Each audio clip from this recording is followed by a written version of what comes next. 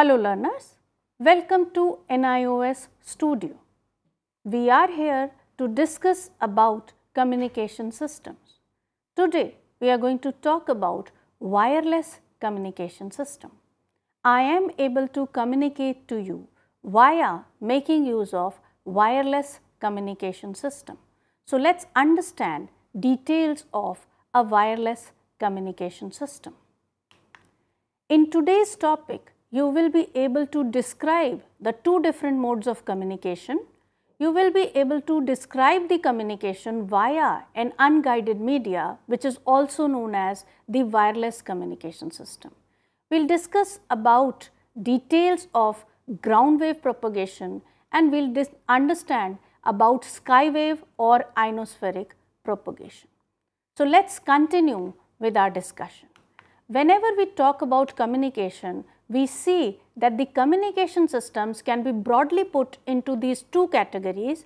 The first one being a wireline communication system where with the help of a guided media, we are able to transmit the signal through a connecting wire in between or some medium in between from one end of the receiver to the other end of the receiver.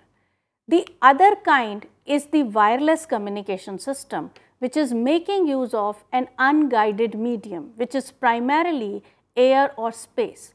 So, over here the transmitter radiates the signal and it is received by the receiver and a radio wave transmission is one of the common examples which indicates a wireless communication which means that you do not need to put any wire in between for this communication process to take place.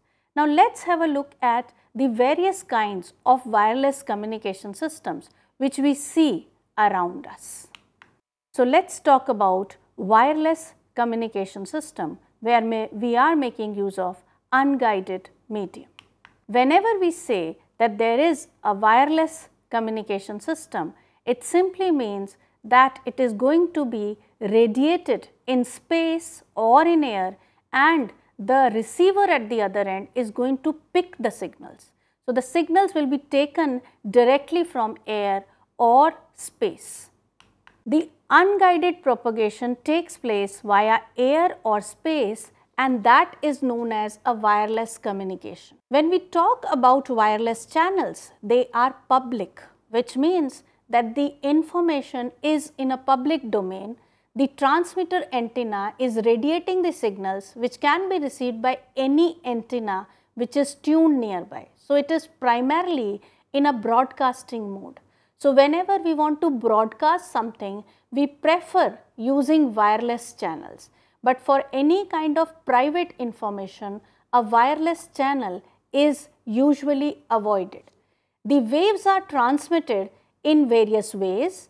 The one of them is ground waves, other one is sky waves or broadcasting waves.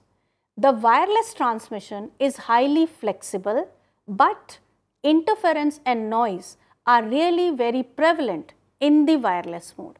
So, whenever we talk about the wireline mode, there is less of interference and noise, but in the wireless mode there is a very high possibility of interference and noise because the signal is available in the public domain. It is there in air and the transmitter will simply radiate it and the, any receiver can catch that signal. And that is why these are some of the issues with a wireless transmission. Let us talk about different types of wireless communication system that is unguided signal transmission. When we say unguided signal transmission, it simply means that the signals will not be communicated via some material medium. The space communication or the wireless communication basically implies that the information is being transmitted and the wireless communication takes place by the transmitter and the receiving station utilizing the space around the earth. We are using the atmosphere and that is why it is also called space communication. The various layers of the atmosphere play a very very important role for space communication.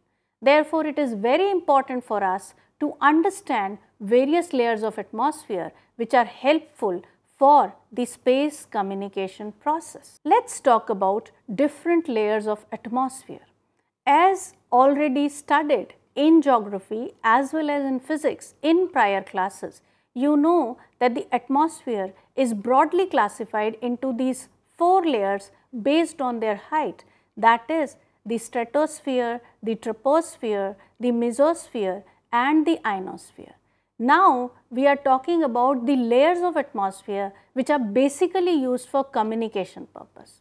So, the first layer which is basically used for the communication purpose is the C layer of the atmosphere which is basically in the mesosphere. That is, it is 60 kilometers nearly above the surface of the earth. It primarily reflects electromagnetic waves which lie in the range of 3 kilohertz to 300 kilohertz. This particular C layer is used for direct long range communication. Another layer of the atmosphere which is basically used is the D layer. This D layer is in the ionosphere and it is about 80 kilometers above the earth's surface. This D layer reflects the electromagnetic wave in the low frequency range lying from 3 kilohertz to 300 kilohertz, but it absorbs the medium and the high frequency range. When I say medium frequency range, it starts from 300 kilohertz up to 3 megahertz and the high frequency range is from 3 to 30 megahertz.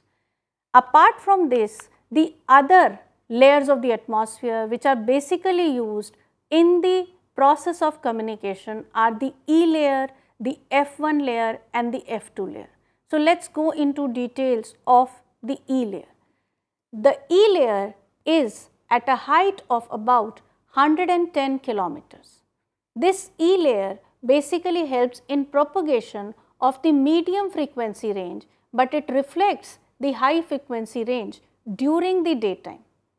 Other than that, we have this F1 layer of the atmosphere which is part of the ionosphere. It is at a height of about 180 kilometers and it allows most of the high frequency range to pass through. F2 layer is at a height of around 300 kilometers during daytime and at about 350 kilometers at night. The various layers of atmosphere vary in thickness due to temperature. So, at night when the temperature changes, the layer is at a different height. This F2 layer reflects electromagnetic wave up to 30 megahertz and pass the further high frequencies. All these five layers of the atmosphere help in the communication process that means the wireless communication system based on the frequency is using one or the other layer of the atmosphere. Let us talk about ground wave propagation. To understand ground wave propagation, let us look at this as the surface of the earth.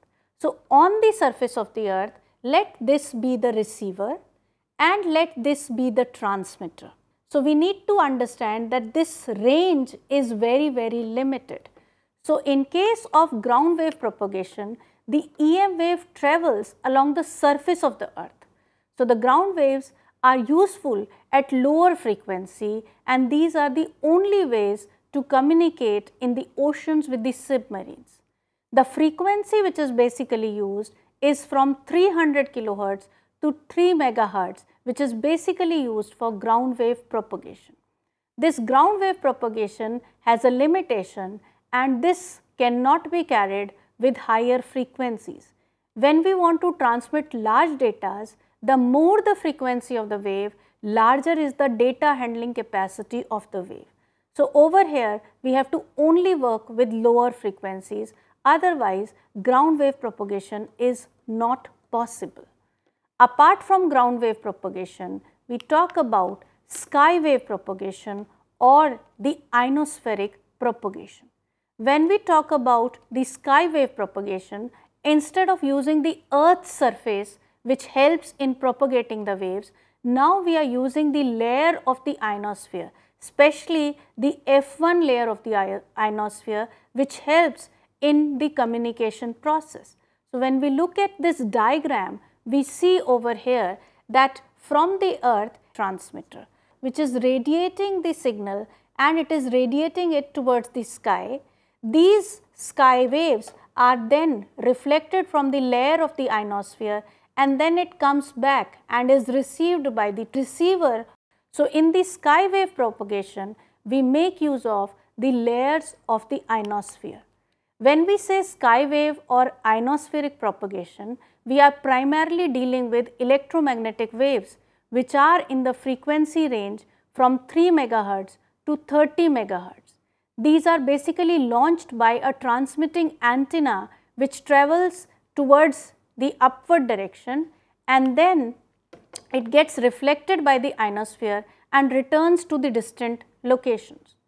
At optical frequencies, the ionosphere is primarily transparent, but at radio frequencies, it reflects the electromagnetic radiation back to the earth. So, we make use of the radio wave range and not the optical frequencies to carry out sky wave or ionospheric propagation. Let us talk about space wave propagation. When we say space wave propagation, basically we are utilizing the space in between and over here there are two distinct modes of propagation in case of space wave propagation. From the receiver to the transmitter, vacuum or free space can be utilized to receive or to send out the signals. So, let us have a look at the space wave propagation diagram. In the diagram, we see over here transmitter is sending the signal from the transmitter to the receiver. So, there is two different modes either it receives through the direct wave mode the transmitter is directly in the line of sight or else it is reflected via the surface. So, when we talk about space wave propagation, we are primarily working with very high frequency radio waves. So, very high frequency radio waves which are in the range of 30 megahertz to 300 megahertz are radiated by an antenna which can reach the receiver either traveling directly through the space or after reflection by the curvature of the earth the curvature of the earth plays an important role. The direct wave mode is much more dominant, but it is limited by the so called line of sight transmission distance and curvature of the earth. The height of antenna also restricts the extent of the curvature, which means that when we look at the space wave propagation over here in the diagram, if this transmitter is beyond the curvature, it will not receive the signal through the direct wave mode as well as the reflected wave mode. So, this is something which is the limitation in this particular case. In this particular topic, we discussed about the two different modes of communication. Our prime focus was on wireless communication. So, we discussed about communication via unguided media that is utilizing the atmosphere or the space. We discussed about ground wave propagation. Then we talked about sky wave or ionospheric propagation where the reflection takes place from the ionospheric layers and then we had a brief idea about space propagation. Now, in the next particular topic, we will discuss about the satellite communication process which is something we see around us every now and then. So, whatever we are seeing in the communication domain, satellite communication is very important for that. Thank you learners.